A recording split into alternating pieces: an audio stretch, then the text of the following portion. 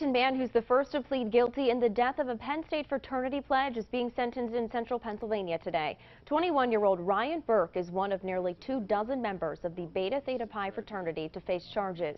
He pleaded guilty to multiple counts of hazing and furnishing alcohol to minors last month.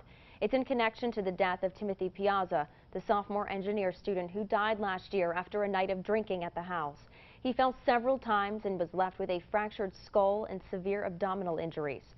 We'll have a live report on that sentencing on Eyewitness News at 5:30. President Trump's former campaign chairman goes on trial in Alexandria,